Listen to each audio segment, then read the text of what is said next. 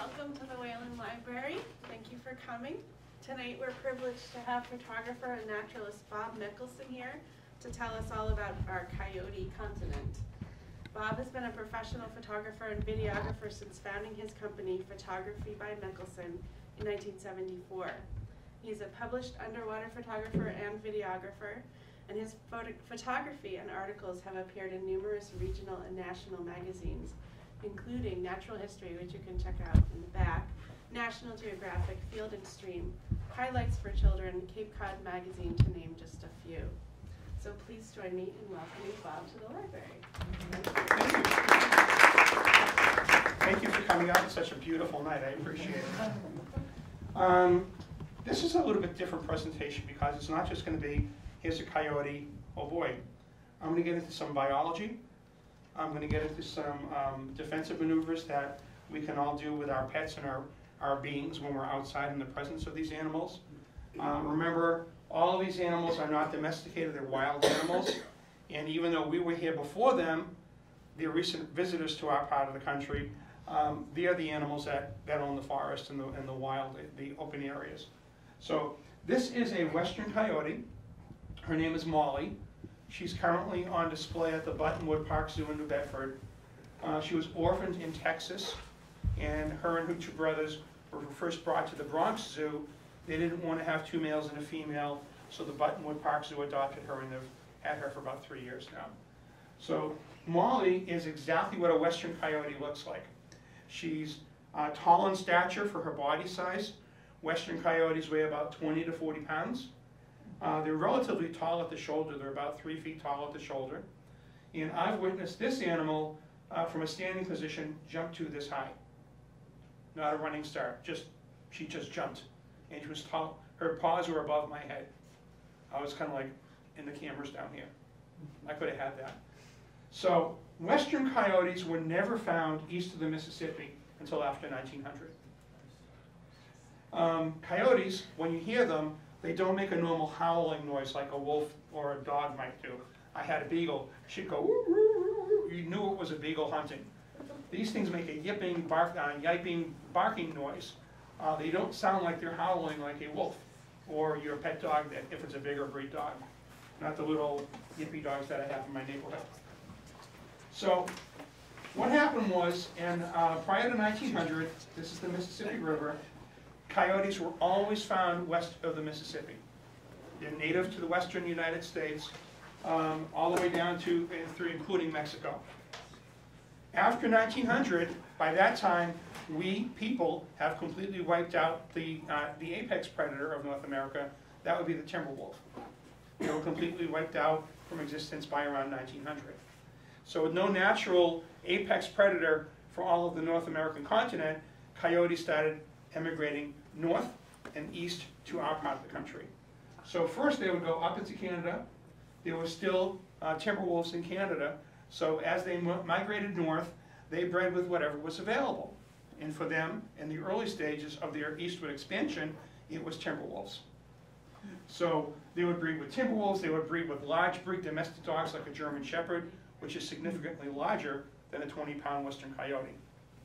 The result is an animal that's not a western coyote, it's not a timber wolf. So let's compare. Western coyote has a much longer pointed snout. The jaw and head is really not that big and powerful. So western coyotes will only feed in open plains. They feed rodents. They wouldn't think of going after a pit bull. A pit bull would rip them in shreds. Timber wolves feed in forest habitat. They'll go after game as big as a deer or a moose. They'll hunt in packs. They can tank down larger prey. Our coyotes are hybrid.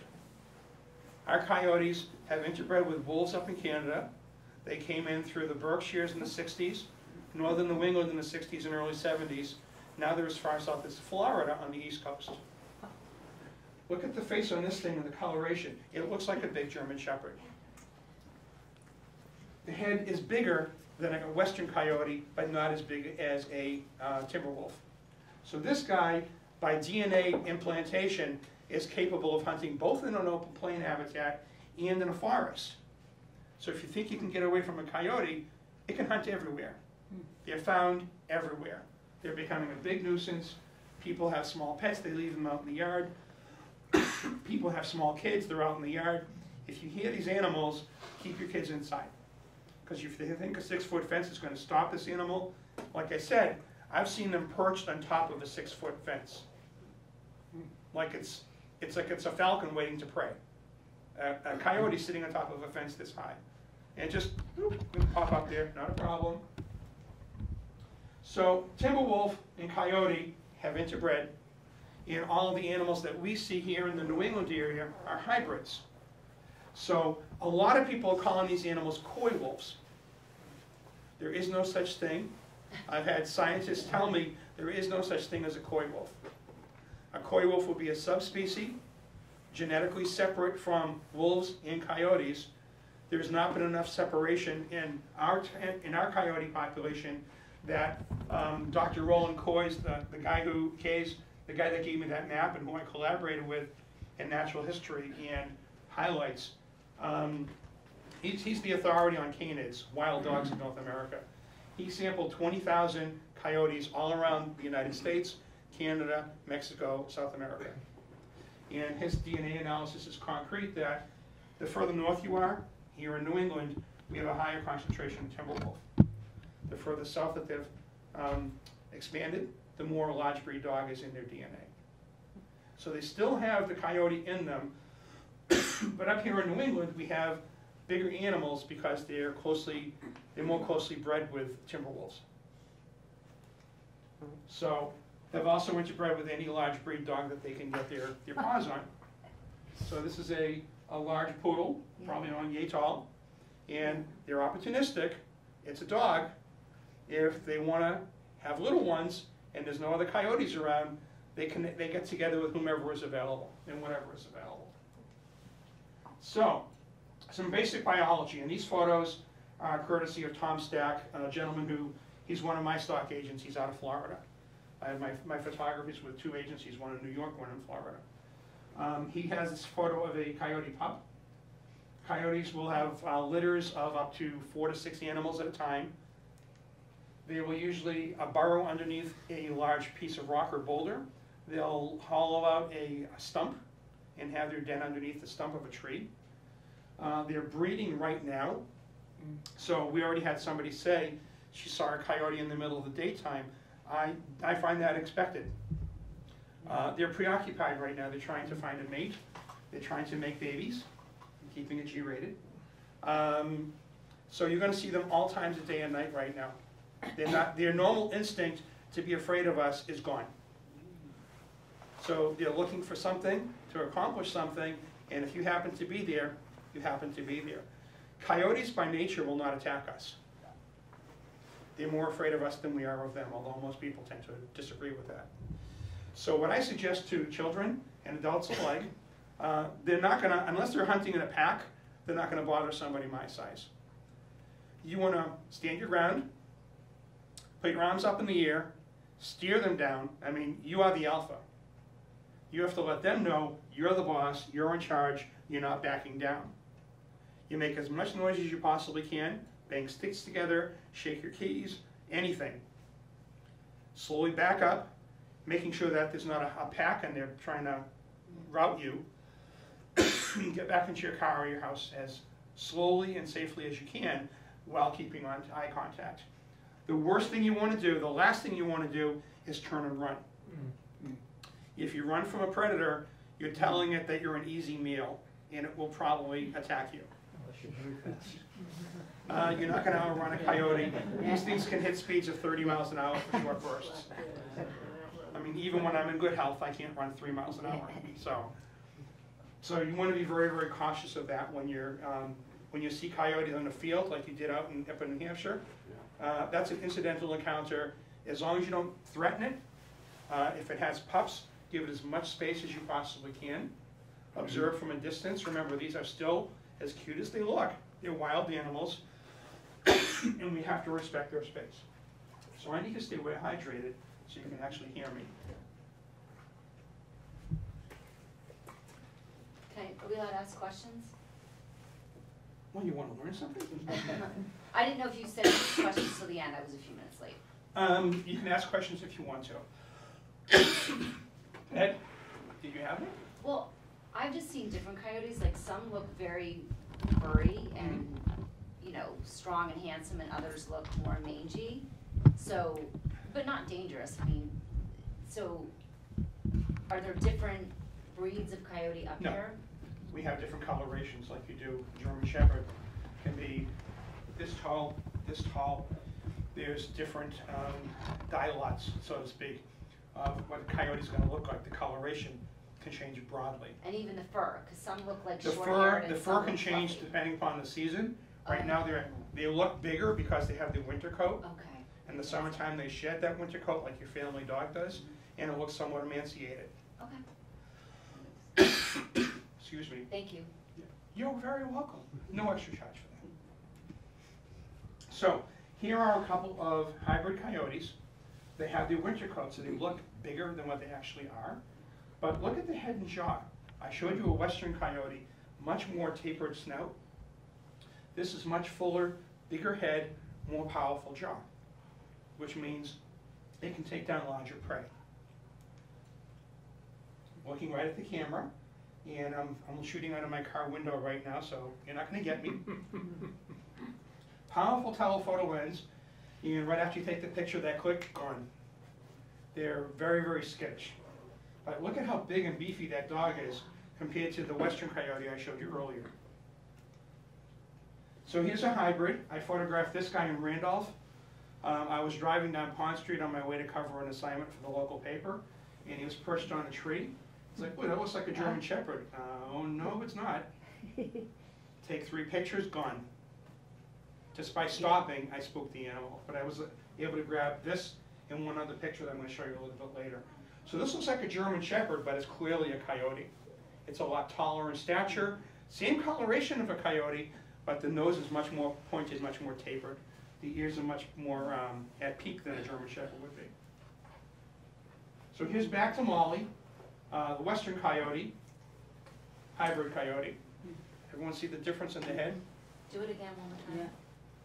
Hybrid coyote, western coyote. Oh, yeah. Much more tapered snout. Yeah. Much fuller snout. Bigger head, bigger jaw. The skull is bigger. So our hybrid coyotes, um, I think I mentioned it to you earlier, if not, I'm gonna, uh, forgive me for repeating. Uh, western coyotes are hunt, are plains hunters. Um, timber wolves are forest hunters. Ours are capable of hunting in both habitat types. So whether it be small game or large deer, our coyotes are capable of taking down anything in their path that they want to eat. So if you have small pets in your backyard, uh, I would be out there with a flashlight making a lot of noise when your dogs go and tinkle a poo-poo. Uh, because there have been more and more reports as the coyote population expands of small pets, cats and dogs being taken on a regular basis all around Massachusetts, not exclusive to this area, or I live in Braintree, it's not exclusive to any area. They're everywhere now, uh, they're breeding, they're establishing territory. Once the parents wean their pups, the, the pups are driven out and they expand their range to someplace else. So I know in Randolph, there are four known den, den sites of coyotes in North Randolph.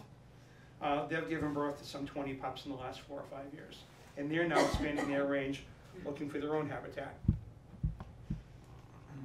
So do they tend to be solitary or will they sometimes hunt? Uh, they're very social animals and they will typically hunt in packs. Okay. I have some pictures to show you in a little bit to show that.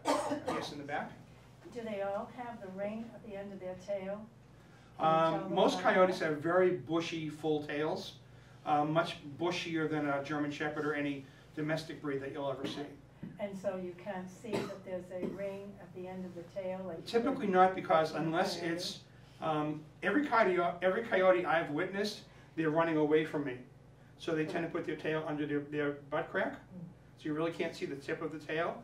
But um, I've driven many a night, 10, 11 o'clock at night, and there goes a coyote down the middle of Carmen Street in Braintree, where I live, right next to South Shore Plaza. And the thing's this tall, uh, big bushy tail, although it's wrapped underneath the bottom of it. I know, there's no question it's a coyote. You can just tell by how tall they are. No other domestic breed dog is as tall off of their paws as a coyote. All of our dogs are closer, closer to the ground, a lower center of gravity. These things are very tall for their size. So they're considered to be a medium-sized dog, but they're very tall for their size.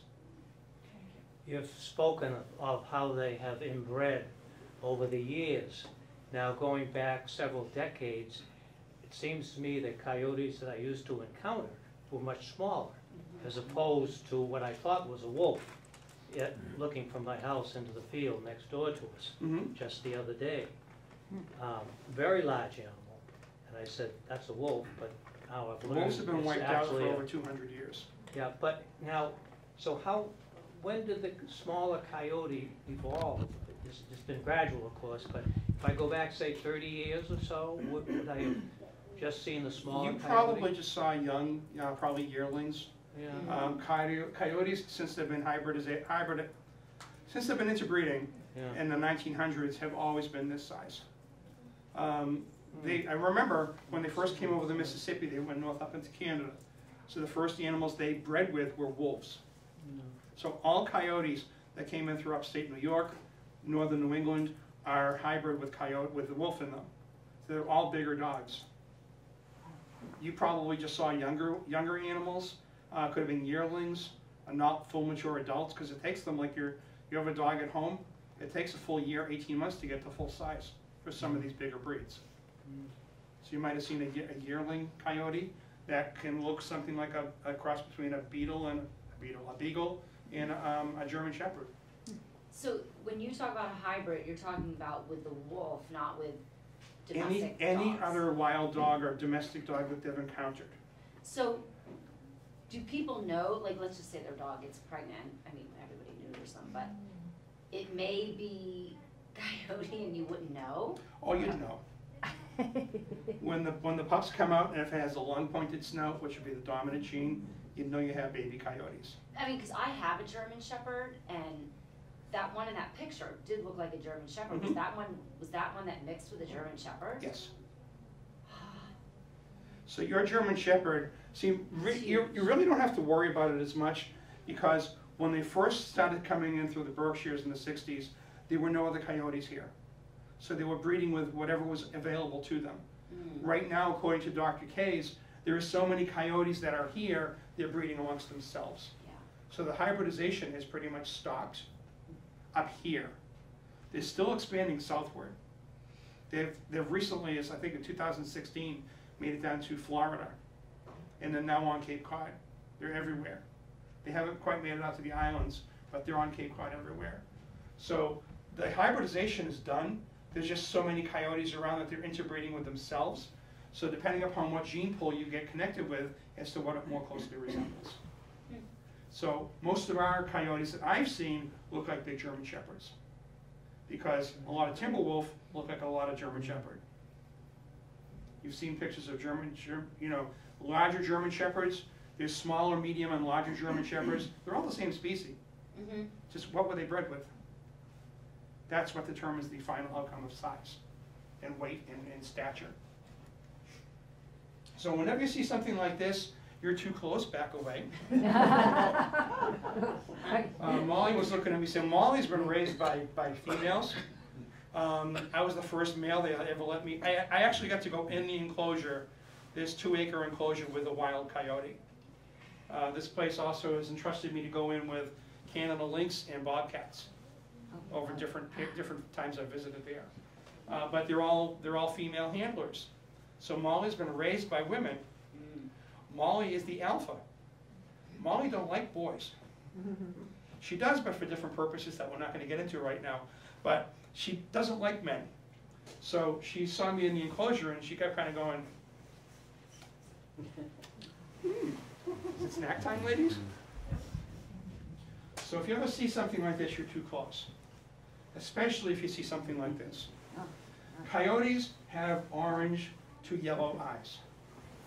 That's one way to tell you're looking at a coyote. But if you get this close, you probably should back away. I would really advise to back away. Don't get this to, this close to a coyote.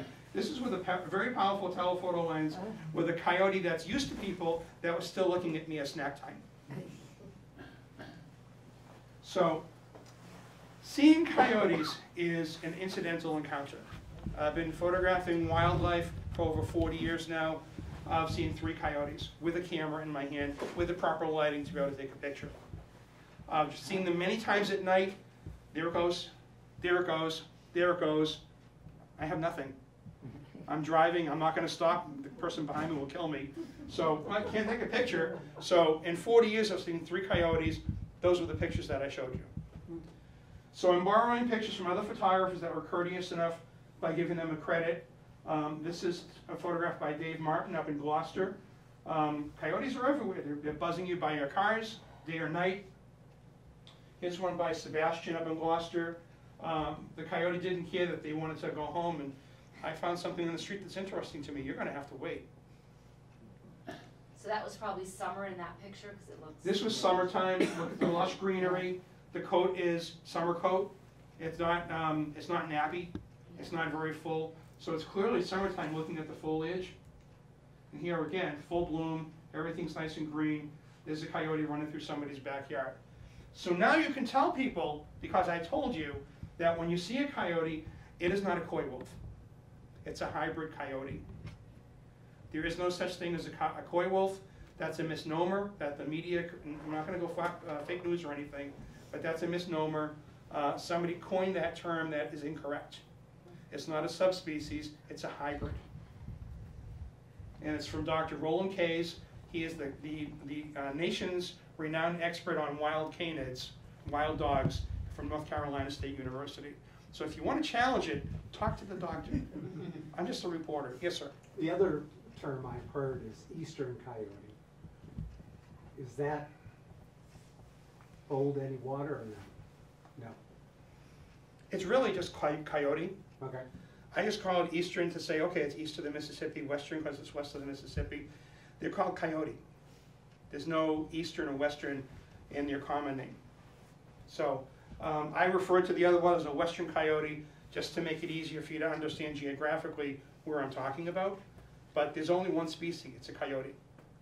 There's only one timber wolf, it's a timber wolf. Yes, Is there a difference between the eastern wolf and the timber wolf? synonymous. Same animal? Yeah. Um, there are subspecies of wolf, but in the United States, before they were wiped out, timber wolf reigned supreme. So we had timber wolves here in New England. Well, in the early nineteen hundreds, they were fairly common in the city of Boston area. According By the mother, Early 1900s, wolves were pretty much wiped out. What So those wiped them out? Hmm? What wiped? We did. So what's They're a threat. We, we're, what do we do with anything that's a potential threat? We kill it. So the, these species are protected? Um, yes and no. No, not here. No. Um, Massachusetts has laws to protect these animals. You can't trap and transport them. But in other, other states around the country, if they're a nuisance, ranchers can kill them. They're not protected. They're not, un- they're not covered under the Endangered Species Act. They're not a marine mammal that's protected under the Marine Mammal Protection Act. They are considered to be a a nuisance varmint that happens right now to be the top apex predator for wild dogs in North America. So they, about 30, 40 years ago, they started reintroducing timber wolves to Yellowstone. Mm. That pack has expanded to states all around Yellowstone. And they're expecting in 50 years, it's gonna make pretty much the middle part of the country with timber wolves. There was a push for the past 30 years to reintroduce timber wolves in the Great North Woods. That's met opposition, support, opposition, support, and the end, it still hasn't happened. I think it would be great to have those animals back where they belong. The habitat's still there. We're not gonna be in, in, in, uh, in not gonna be taking over their habitat where these animals are found up in the mountains in the, uh, the Great North Woods area. So these are photos that Dr. Roland Kays, and again, he's a renowned um, canid expert. He studied coyotes for over 30 years. This is what he does, teaching other students in Cotton University level. His research is all about this. And he told me in a phone interview, he's never seen a coyote in the wild. They're all camera traps. He puts camera traps on trees in the forest. This is where he's only seen his pictures of his coyotes. He's never seen one in person. He can come to my backyard. Exactly. I've got. I've got a pack, just like. He can come to my neighborhood in Braintree, they're all over the place. So, here's a pack down in North Carolina. Uh, you can see there's bigger, smaller, but they're all bigger, like the same, the size and shape of a German Shepherd. These are not what, the size, stature of a western coyote. They're bigger, fuller body, larger heads, bigger jaws, bigger skulls. They're very curious and very mm-hmm. inquisitive. There's nobody around, just a box, it's a oh, shape that doesn't, the animal doesn't recognize, and it's checking out the box that the animal doesn't recognize. They're very smart, very inquisitive animals. Here's a couple getting closer to the camera trap. What is that thing? I smell human. Where's the human? Are they as intelligent as our domestic dogs? Yes, our dogs were taught by somebody. This is who taught them. These have the instinct. Our animals have been bred out. These, um, these are instinctive hunters.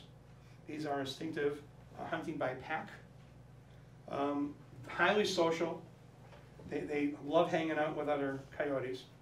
Um, our animals, a lot of the different breeds that we have are not, to my way of looking at it, natural. Who ever heard of a cockapoo? You had a caca or you had a poo, never, you know, the two of them together. So, um, th- this is nature going back to where it, I think it, it originally came from, but their, their makeup is different because of where and how they came here, and who and what they had to breed with along their way. So that's why our coyotes are bigger, uh, faster, stronger, like the bionic man, or bionic woman equal time, um, bigger and stronger than a western coyote that was never found east of the Mississippi until after 1900. Here's another camera shot. Talk about coloration. This is a blackish coyote. Every color phase in the book. It's still a coyote. It just happens to have more black and gray in the, in the coat.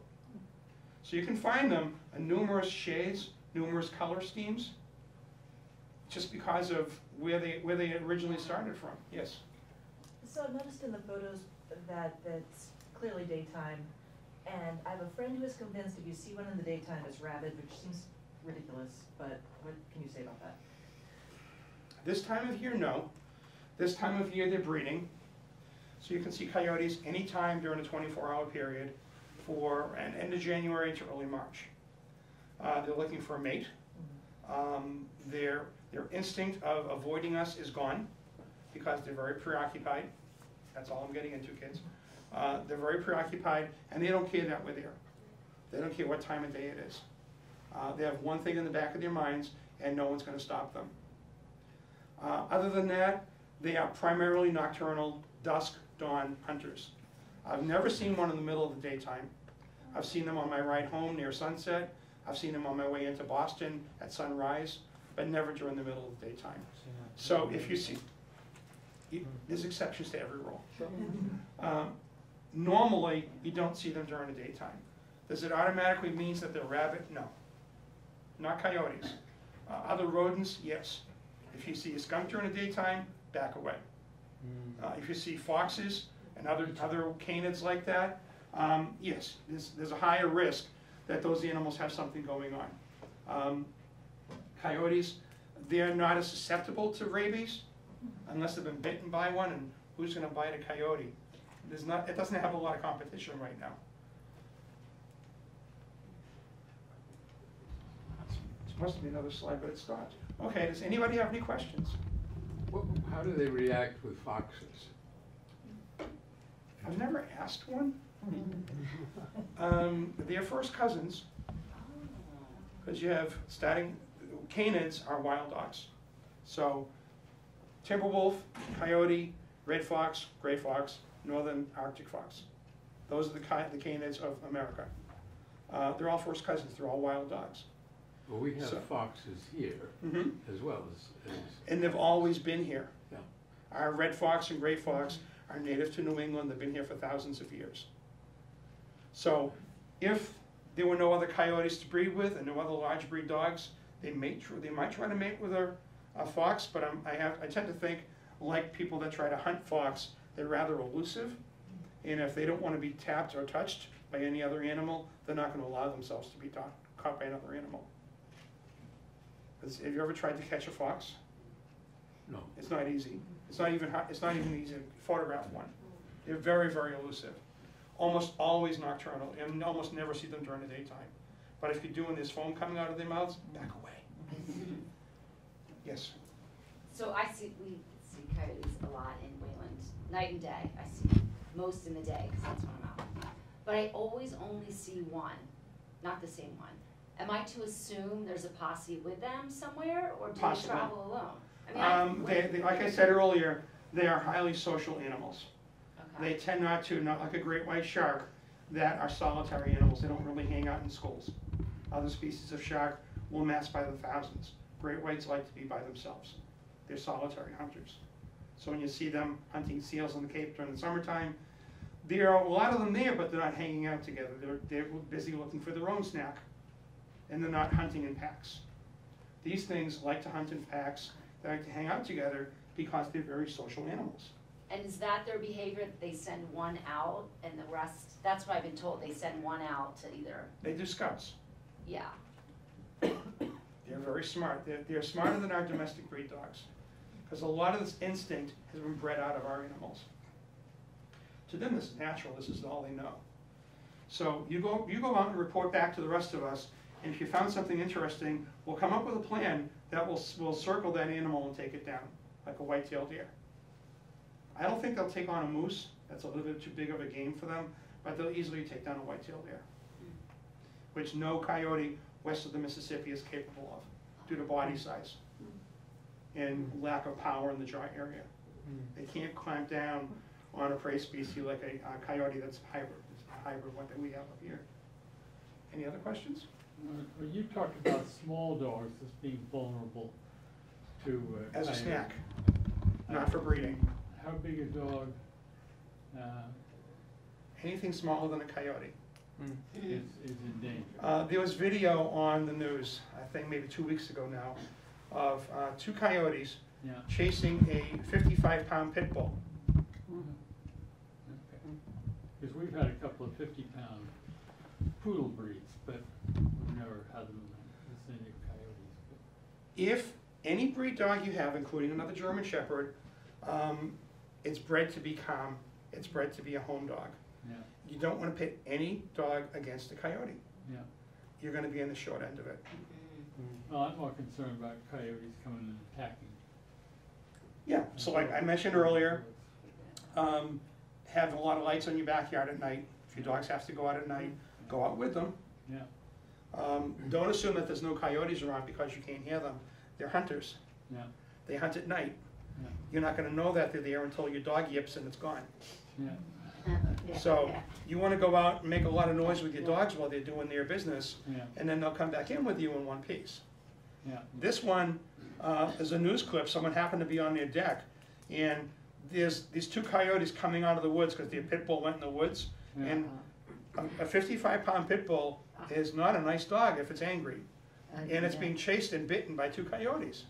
Mm-hmm. yeah. And it's running up into the deck, and they have a door, a trap door in their door. I'm surprised the coyotes didn't go in the house to get the door. Oh, I was kind of like, you've got to be kidding me. Yes. Is, is their attack typical of, of, of a wild hyena, for example? Do they go for the throat of Yes. the dog? They go for the throat. Yeah. That's normal with any canid. Yeah. Any wild dog, they all hunt the same. Mhm. They go for the jugular. So that's why, when you've heard of reports from your neighbors of, there's one loud screech from their cattle, one loud screech from their little dog, and that's it, because that's all they had. Usually break the neck. Yes. Do they, can they jump high? Like, is a big fence around your backyard a good deterrent? or Yeah, you came in late, didn't you? What's that? You came in a little bit later? Yeah, I'm sorry, you already Yeah, um, I witnessed a coyote perched on top of a six-foot picket fence. Okay, that answers that. okay? Um, when I was in with Molly, there was a shed right next to the opening of the, ga- the enclosure. Uh, she was standing still. Next thing I know, she just jumped straight up. Her paws were taller than my head. From a standing still position. So with a running start, a six-foot picket fence is nothing to these things. There was a picture that was on Facebook for Randolph, um, a coyote sitting on top of a six-foot chain link fence looking at the pet in the backyard.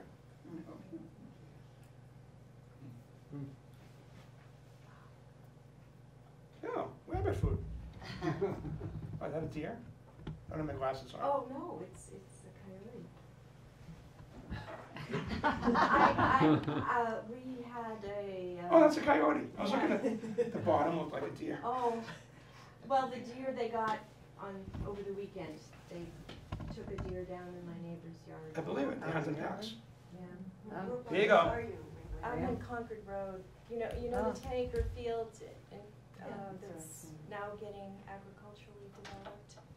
The, now that it's an open field, yeah, further north, further north, um, someone has just opened up a pasture and it's plains, just as you described, and they're out, there's a pack of three I've seen, hmm and, um, By April and May, there'll be more. well, hmm. can't we give them birth control? In, in like biscuits or something, I, It's against the law in Massachusetts. oh, They're protected in this state. save us. So there's, there's proof positive that they do hunt in packs. They took down a deer. Well, we, we have a surplus of deer in town. That's not the way you want them to go. No. Because It's. ne- they, they, they will, now they know where their food is. And they're gonna come in greater numbers to hunt bigger food. What do they, what else do they eat? Anything they want. But Um, Typically in the wild. in the wild, they'll hunt rodents, Rabbit. uh, any type of rodent, uh, rabbits or rodent, uh, woodchucks, groundhogs, um, skunks, fox, other coyotes if they're weak, domestic dogs, cats, small kids. Huh? Other coyotes? Uh, If they're hungry enough, they'll go after whatever this, whatever's available. If they sense the coyote's weak or hurt, it's food. Is it recommended that we not use bird feeders? That's for beers. Oh, Coyotes aren't gonna knock down your bird feeder and eat them. well, what happened with the deer is my neighbors had bird feeders out and the deer was taking some of. Well, it attracts, it attracts the vegetarians. Yeah. So it'll, it'll attract squirrels, uh, skunks, birds, uh, deer, and what do they, what do they attract? Bigger predators, carnivores. Um, A beer will go after bird feeders, so in New Hampshire and Western Mass, you have to take, in New Hampshire, your bird feeder has to come down by this date, and they cannot go back up before that date, because you're attracting black bear. Um, A bird feeder is not gonna attract a coyote. What attracts to the bird feeder is what attracting the coyote, not the seed. They're, they're not really herbivores, they like meat. What's the Yes. lifespan of a coyote? Is it the same as a dog? Pretty much the same as a dog, a little bit shorter. Uh, they don't have the medicine and the care that we give our animals. But our coyote can live up to fifteen years. Yes. When we hear that screeching at night, that, is that the animal that has been attacked? that No, we're it's just hearing? vocalizing. That's how they communicate. Or it's the coyotes that? Yeah. And are they uh, in Well, it an depends upon attack? the screech. You can also be hearing fishers. Yeah. Fishers make a very high squeaking, squealing, screaming noise Yeah, as well. right, yeah, yeah. That's not necessarily a prey. Now, seeing a fisher go up against a coyote would be interesting too. Because they both have pretty nasty dispositions. A fish is the largest member of the weasel family, and you don't want to play with them either. Three feet long with a lot of teeth, no, no. you don't want to play with them. Any other questions? Yes. Why were you saying that you'd like to see the timber wolves reintroduced to the North Woods? I'm a believer in um, man who has screwed up so much of our environment, putting things back to the way they're supposed to be. Um, A little sidebar from this, a sidebar from coyotes altogether. Um, I recently did a series of stories on gray seals and great white sharks in Cape Cod. And uh, there was a bounty on seals in Massachusetts, Maine, and New Hampshire. New Hampshire is a short um, coastway. Uh, Through the early, the early to mid-sixties. We wiped out the entire seal herd from New England. We never wiped them out completely up in Canada. So in our, in our lifetimes, up until ten years ago, we never heard of great white sharks on Cape Cod. Never. Because the seals were gone, what they went after for food was gone.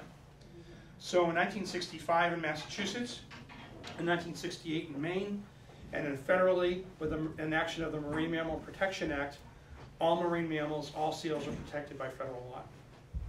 Since 1972, the gray seal herd has expanded southward at the rate of about 10% per year.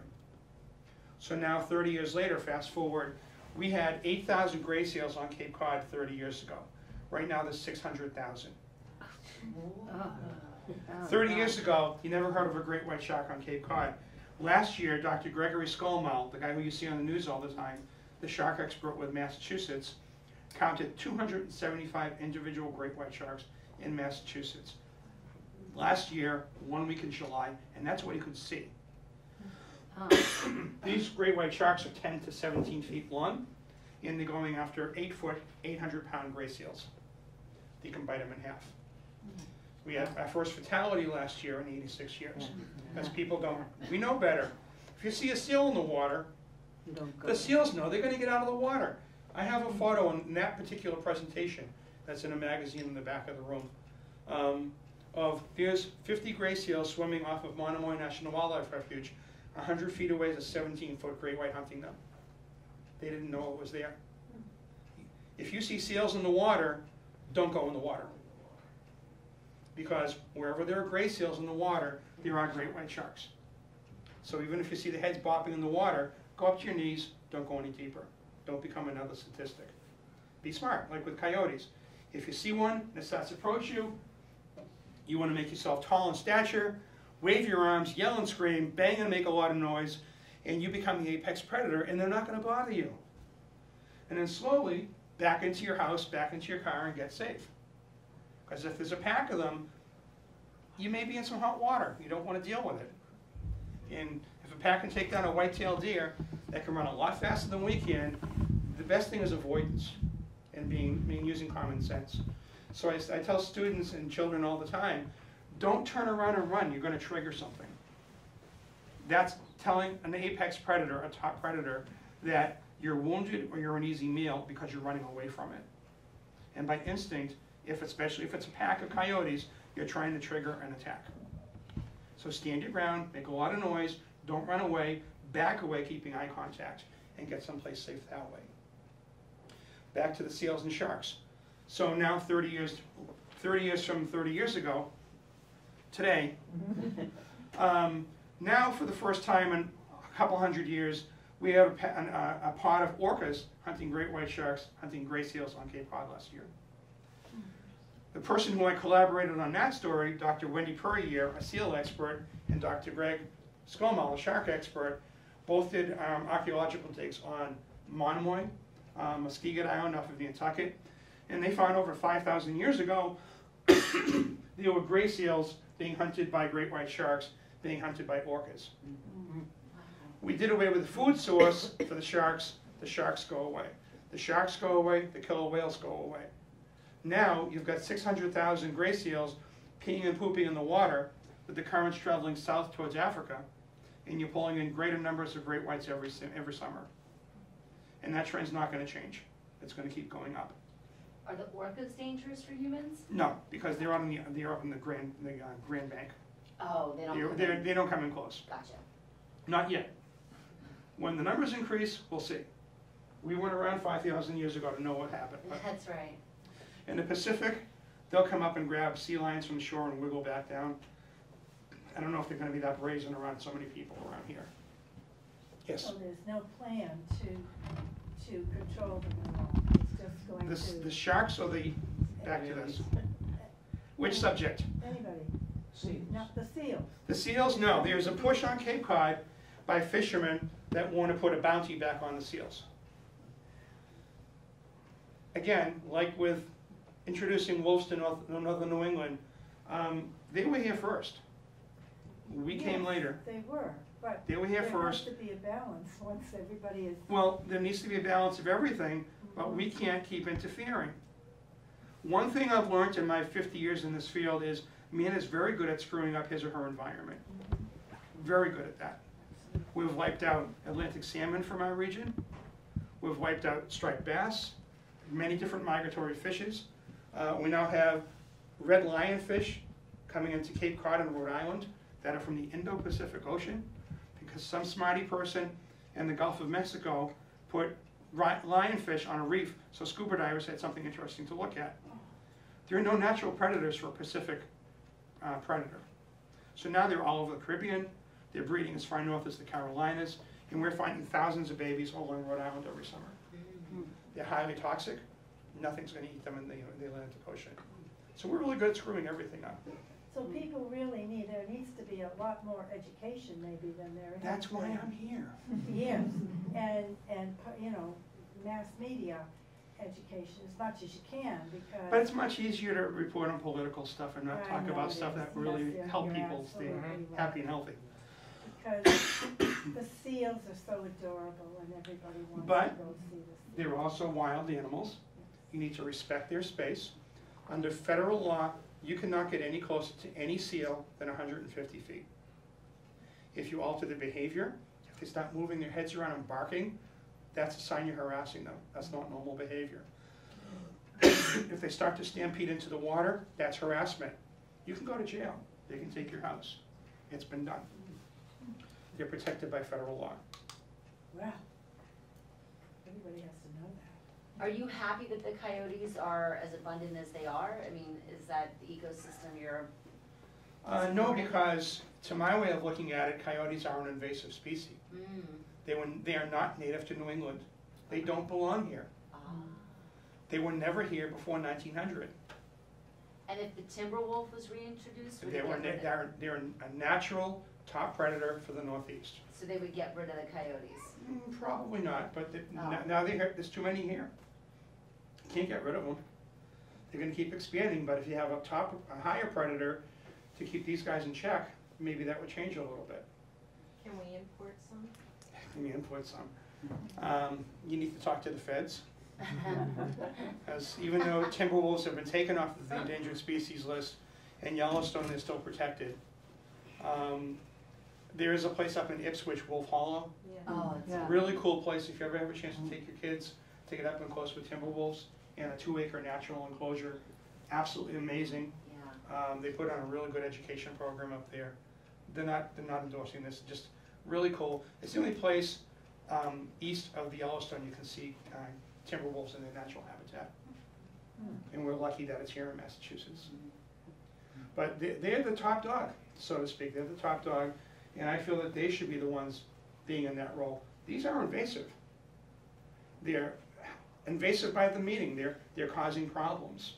An invasive species is one that's not native to an area that's causing a lot of problems. And these are an invasive species by the definition. They don't belong here. Yes, Beth? Okay, so I'm sorry I missed the earlier part of your presentation on coyotes, but uh, lately, over the past ten days, I've had two occasions where there was a great commotion of yapping and yipping and not howling, but yapping, yipping of what sounded like the least six. And I've been told that's when they've got a kill, you know, that they're calling other animals in, is that That's not necessarily true. okay? That's how they vocalize. Yes. That's how they communicate with each other. Yeah, Uh, this is also, I mentioned earlier, this is the time of year that they're actively mating. okay. So you're, you're inclined to see more Mhm. chance sightings during the daytime than typically during the course of the year. Yeah. Because they're preoccupied, their normal fears of us are gone, because they're preoccupied to try to find a mate. So yipping and yapping and barking uh, is normal communication skills for these animals. a lot of them, There's a lot of them. yeah. Um, they communicate by pack that way. It doesn't necessarily mean they're found to kill, it just means, hey, you wanna come hang over at my house tonight? I saw her hand up, yes. Yeah, so I walk in the woods all the time, and now, is there, is there gonna be a tipping point, you know, when a human walks through the woods, if there are more and more Be coyotes? smart, be safe. Um, carry an ear horn. My husband says carry a gun, but I don't think. I wouldn't carry a gun.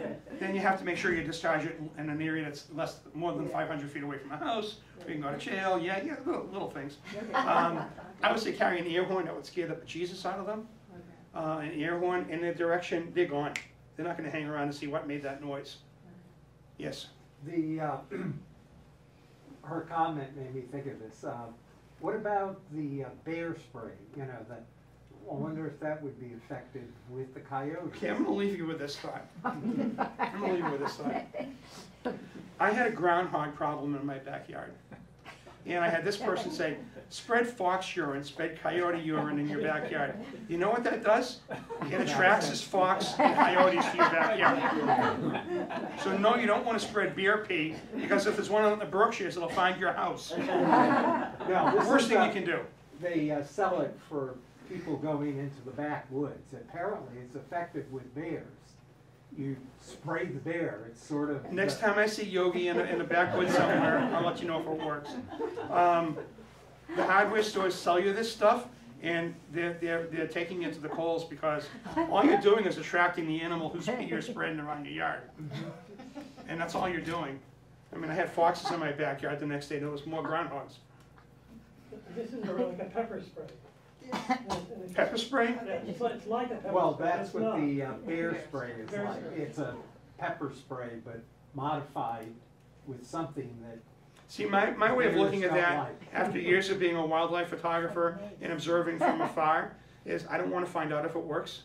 I really have no interest in finding out if it's effective, because I'm either way far away from you that if you start attacking me, I'm in my car with the windows locked before you can get to me. Even if you're fast, I'm faster. Because if I'm, if I'm that far and there's a wolf over there and my car's right here, I'm in that car really fast if I need to be. Um, if you're by yourself walking in the woods, just be smart. Pay attention as to what's around you. Carry something that can make a very loud noise. Um, don't bring a triangle, that won't cut it. You know, an air horn.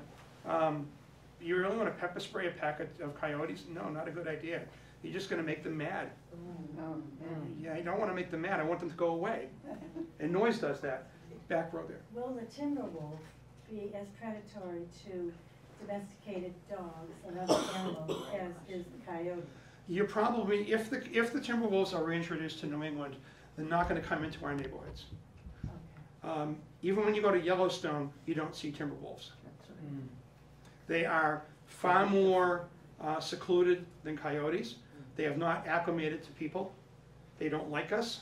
They don't like the scent of us. They stay far away from us. So I know wildlife photographers that their best shot of a pack of uh, timber wolves is from three miles away with a telephoto lens. Because wolves don't like us, they're not gonna come anywhere near us.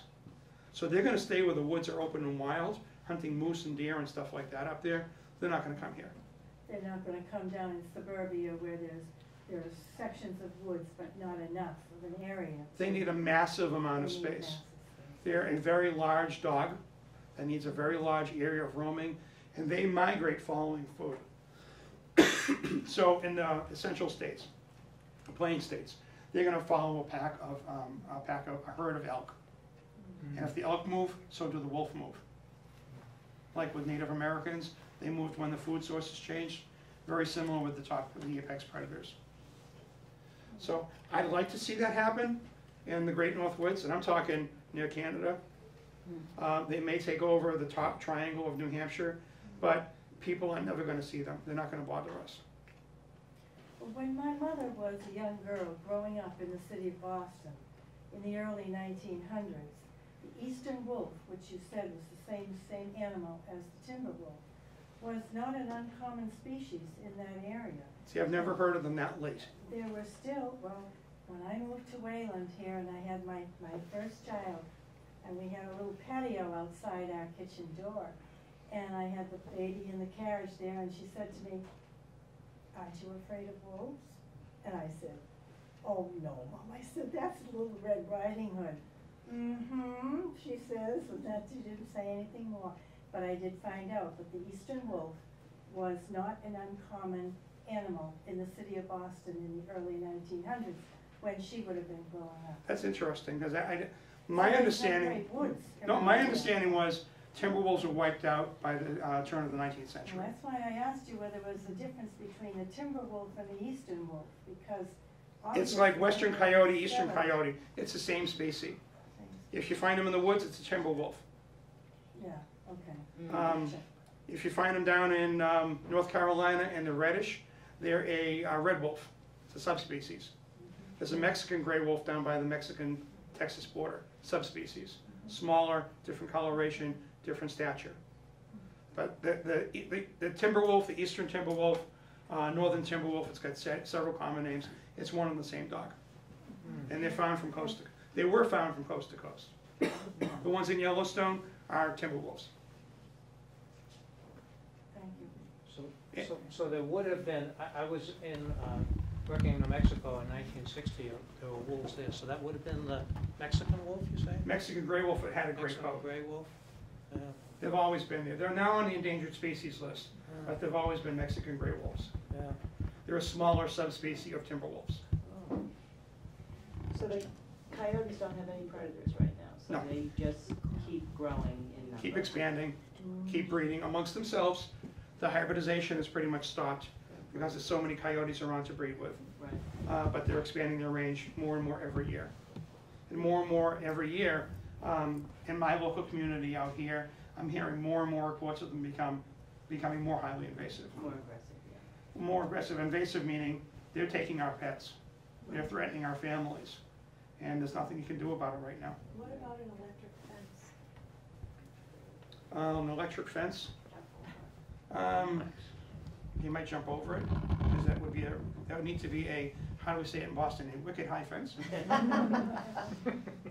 That would need to be a good eight foot high fence, and no one's gonna build an electric fence eight feet tall, just to keep out a coyote that you may never see. Or just keep your pets inside. If you go out on a path at night, carry a log horn, carry a big stick, make a lot of noise. Yes. Where do you get the air horns? Um, any sporting goods store. Voting, voting. Have you ever gone to a high school or college sporting event? Sure. They get them at sporting goods stores.